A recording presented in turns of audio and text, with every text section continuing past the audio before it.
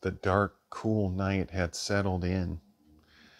There was no sound except for the wind blowing the trees and leaves around. It was the late summer of 421 BC in Greece.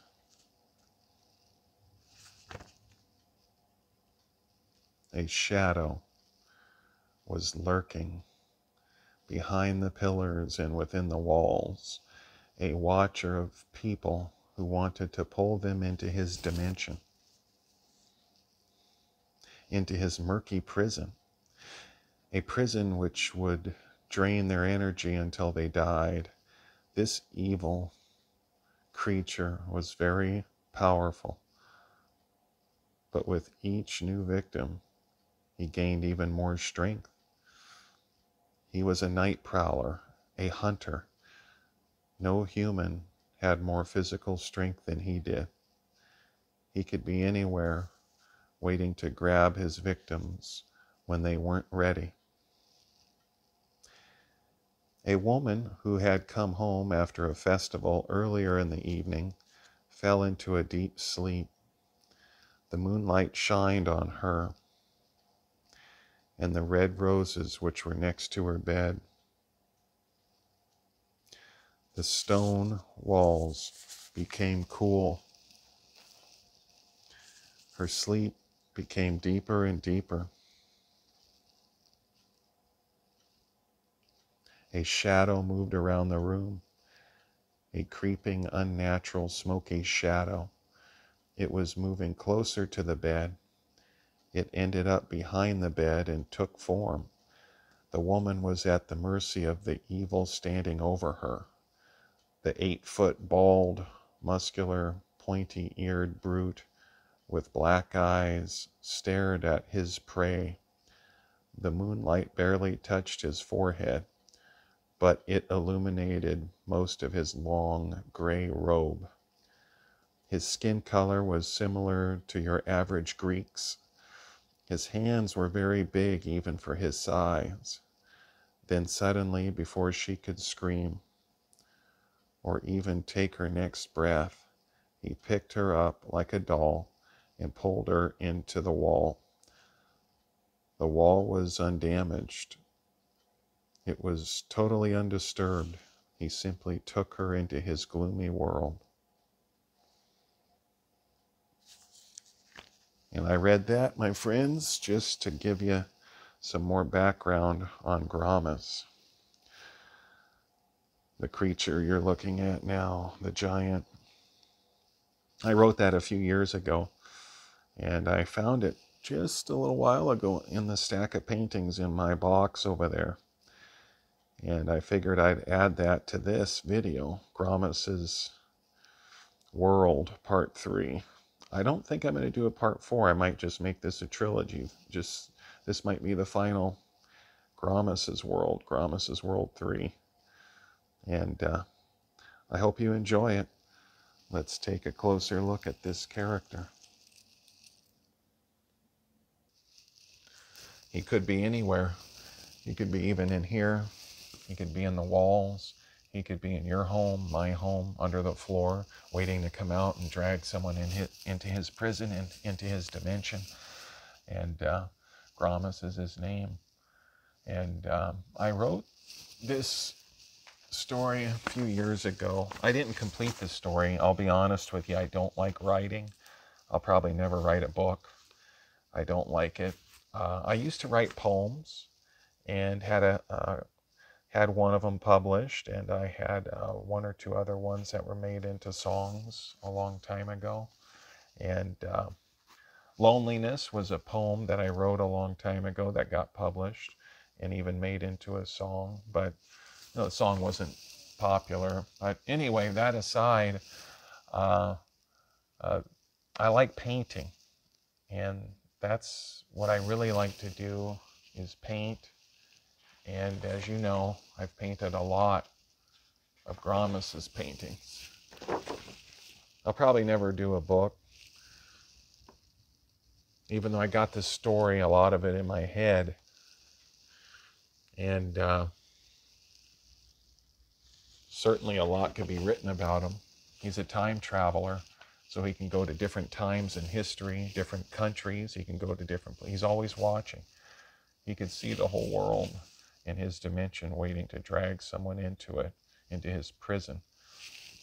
You could see the cell here, the prison, prison cell. So anyway, I just wanted to read you a little bit of this at the beginning of this video to give you an idea of where I was going with the story.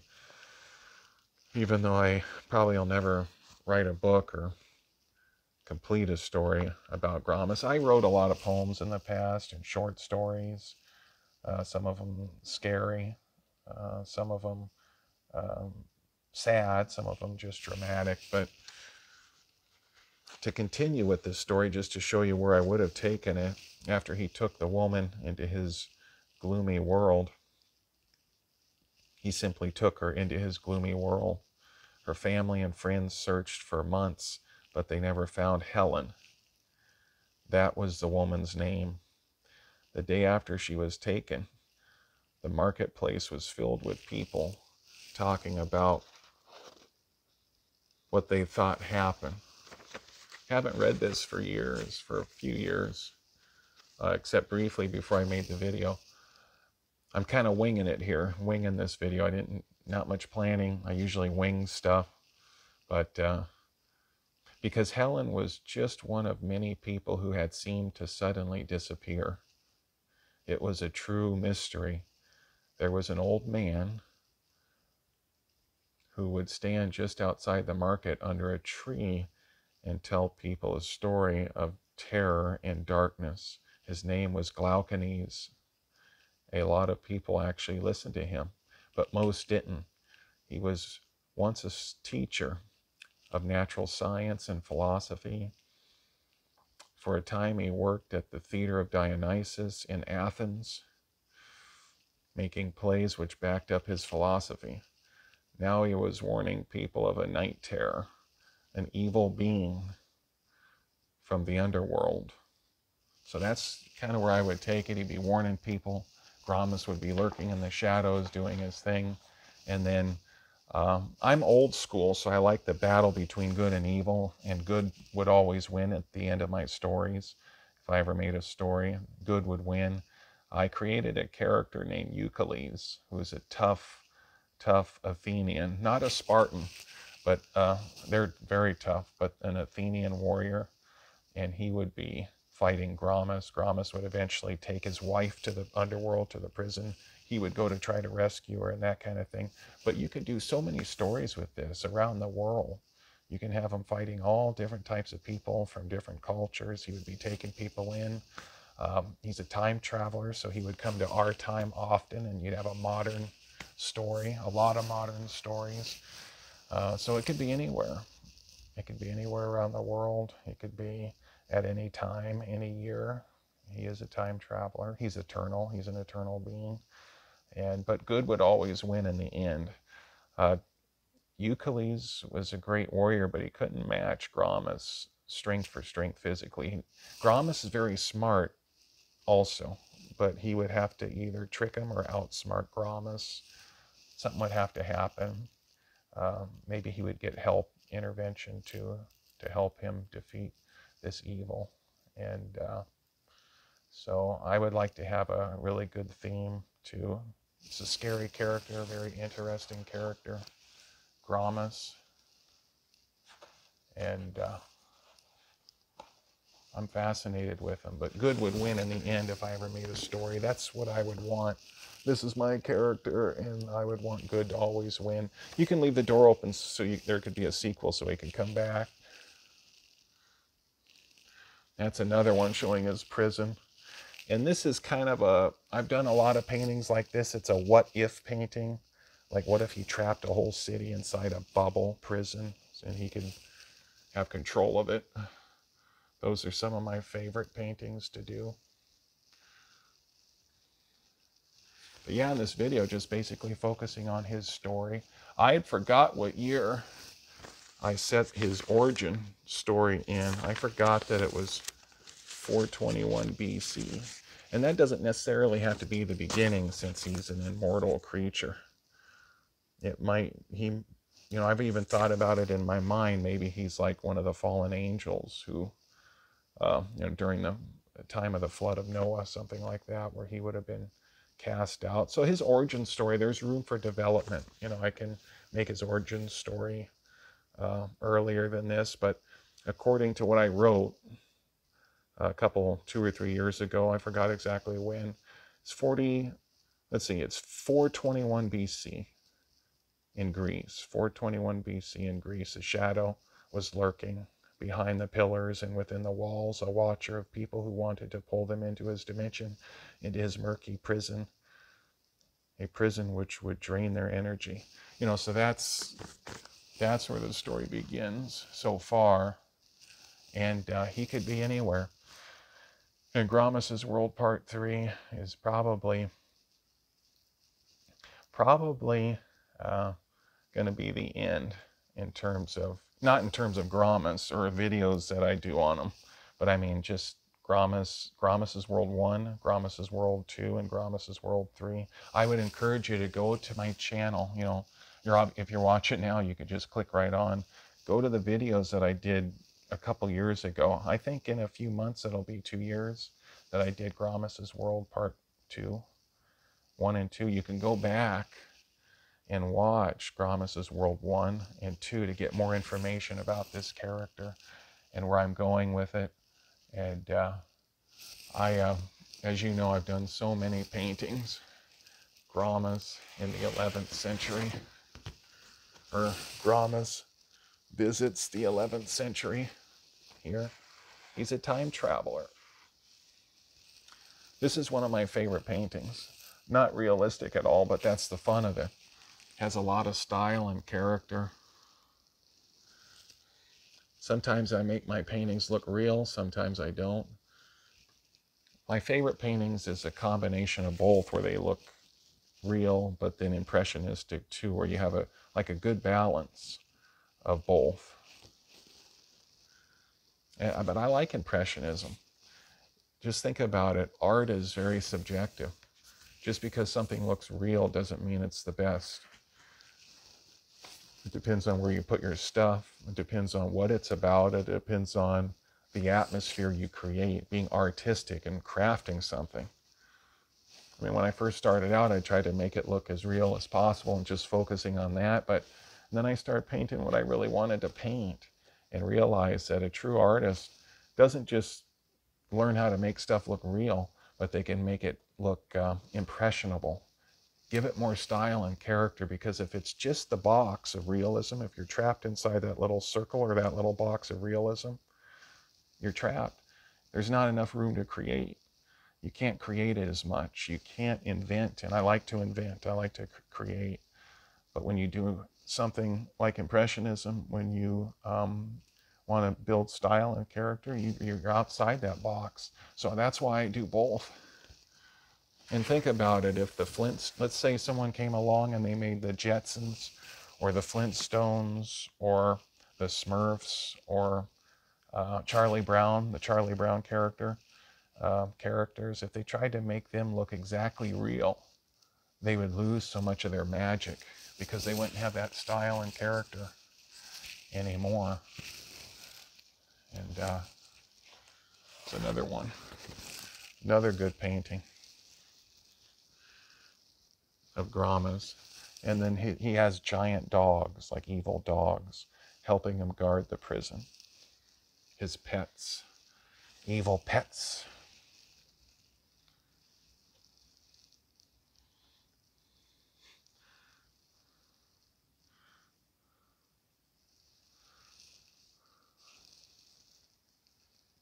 Yeah, I like this one. It shows him, it shows his world in part, little bit of it, and the dogs, and then the prison cells in the background.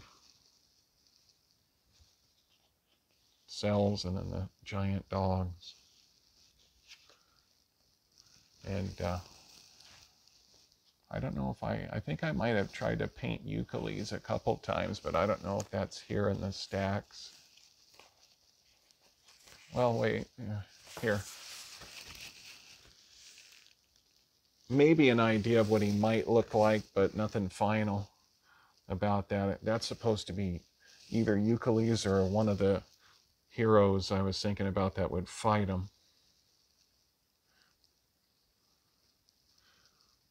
There's another painting, I think, of Euclides that I did where he's, you could see his muscles and he looks more like a, a warrior. And I'd have to look for that.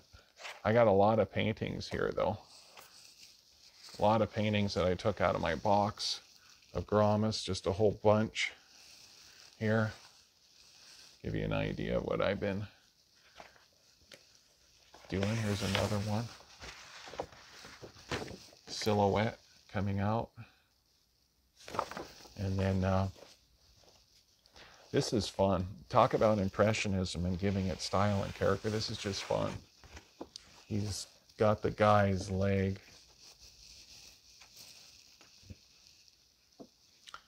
He's saying, Come to Gromus.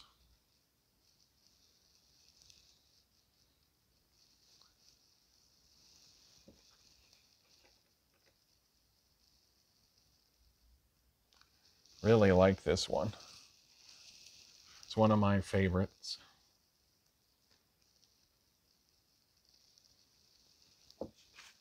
Better not talk about him too much. He might show up. That's okay. I said my prayers. I'm ready. I got my. I've got all my weaponry here. Just kidding. But hey, do what you got to do, especially if you're going to protect yourself from this evil creature. Oh yeah, here's another one. I thought here, I thought about doing this too. Like um, he would be in the um, maybe the eighth, 9th, tenth, twelfth century, eleventh, or whatever, and eventually he would uh, meet a warrior monk, like a warrior monk, um, a monk who would be a, a, a good person and would fight against him. Thought about a story like that. he goes to different centuries and to get people and there's a lot of different victims that he gets in different centuries but then he always eventually meets somebody who will stand up against him someone who's tough smart who can actually um, maybe trick him find a way to beat him. No one can match his strength so. They'd have to be pretty exceptional to to beat him in any way. But yeah, I like this art a lot. Look at the light coming in. Look how big his prison is in this one.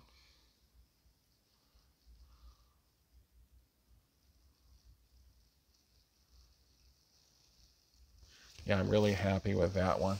So many paintings that if you've seen my channel and watched it, you've probably seen these paintings before. Here's a classic. This is one of the first ones I did where he supposedly trapped a whole city inside a bubble. It's just a what if story. Not like, not like he has the actual power to do that, but if he keeps bringing people into his prison, gaining more strength, maybe he would one day, but look at that.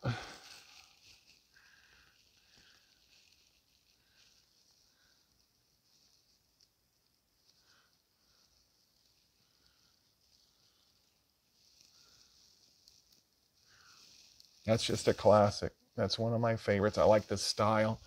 I like the way he's painted. I like the way I did his face. Look at the look on his face. Yeah, I painted this a couple years ago, a few years. Forgot exactly when, but it's just one of my favorites.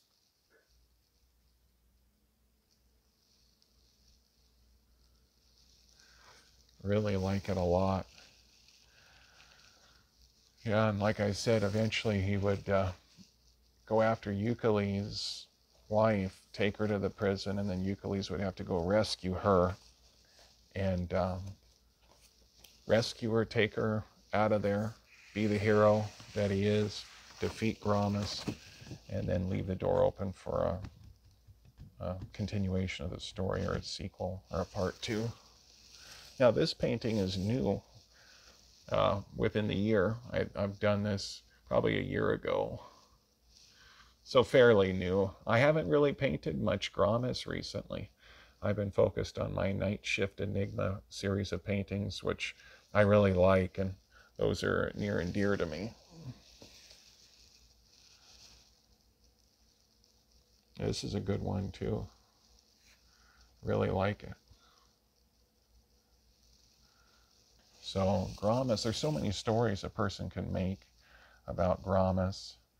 I mean, if I had, you know, if I had the desire to be a director, if I had a lot of money, you know, there's so many things you could do with this character. But, uh, you know, I'm not, that's not what I'm doing.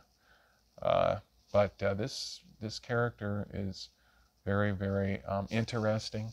And um, my art, you know, if you like this art that you're seeing, uh, visit redbubble.com.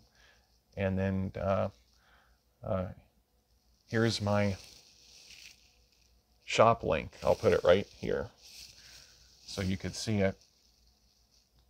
I think it's 738 8421. I think so. So just it's seven. Um, you'll see it. I'll just I better not say it because if I forget, give you the wrong one. So you'll see it here, no problem. I'll put it on the screen so there's no confusion. Trying to go by memory with something that you just memorized might not be the best idea, but uh, gosh, there's just so many. I like this these two different centuries. There's another warrior that he might potentially meet. Someone else who's trying to put up a fight.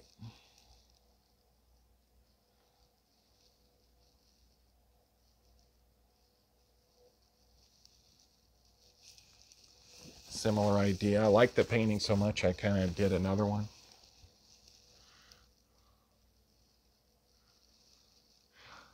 Most, if not all, of my Gromus paintings are on redbubble.com.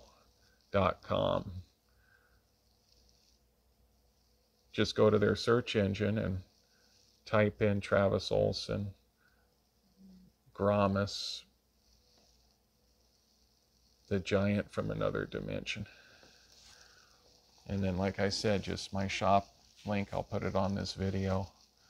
So you'll be able to see it. Well, that's Gromus's World Part 3. I hope you enjoyed it. I wanted to give you as much information as possible about the character. But go back and watch Gromus's World Part 1 and 2. I haven't seen those videos for a long time, so maybe I have additional information in those that I don't even remember.